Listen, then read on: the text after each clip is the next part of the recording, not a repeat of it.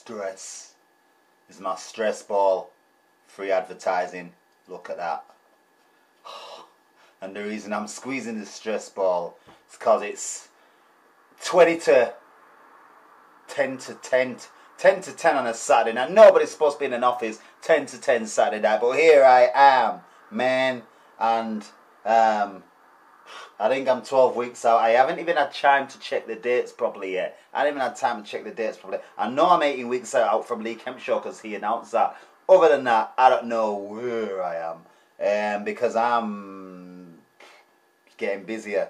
Hence, hence this squeezy stress ball that don't even re-stress and come out fast enough for my liking. He's just going to give me arthritis in my hands. Scratch that.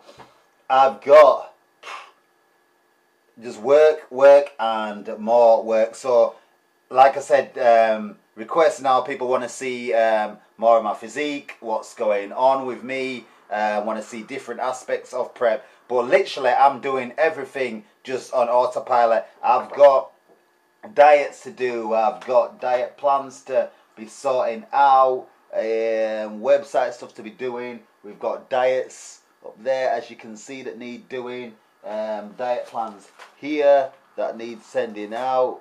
Oh, we've got. Oh, um, Liz got. What else? Uh, DVDs that need going through, and CDs that need sorted out, music that needs doing, stuff that needs laminating. Uh, snowed under. Um, and so all the, the normal stuff. My my day now is get up, cardio, work, cook food, train, collapse.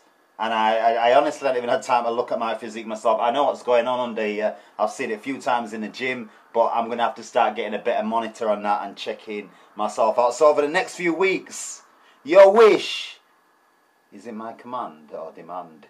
Your wish is, your wish is my command. I think I've got that right.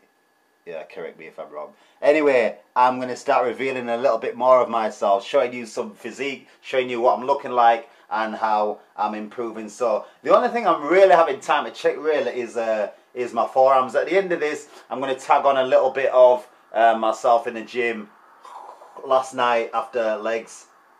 Yep, yep, last night after legs.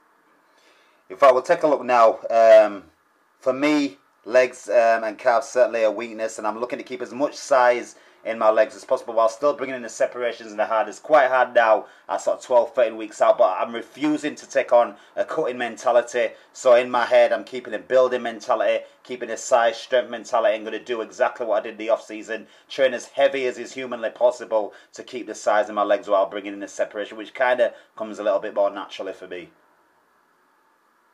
I want to get a little bit more descriptive on how my physique's going. In, in 12 weeks, uh, probably 18, 20 weeks total, should see a lot of changes. Um, they wouldn't say that the Eskimos have got like a gazillion words to describe the word snow for the different types. It's the same with physique shape. People say, oh, I'm shredded, I'm ripped, and just bandying around those words. Um, there's so many different levels from being smooth to hard to ripped to shredded to just downright freaky. So I want to catch some of that um, on film and give you a clear, um, some clear definitions how you can work out what condition you're in, um, where you're at. You know, like like I said, different signs, different things you're gonna see, different things you notice every year, which let you know exactly where you're at. But just let just to let you know, guys, I'm I'm doing as much as I can. Stick with it. It's going to get more interesting. It's going to get more exciting. You're going to learn a few things. You're going to learn a few tricks. 28 years is it 28 years? No, that's training experience. 22 years competing experience.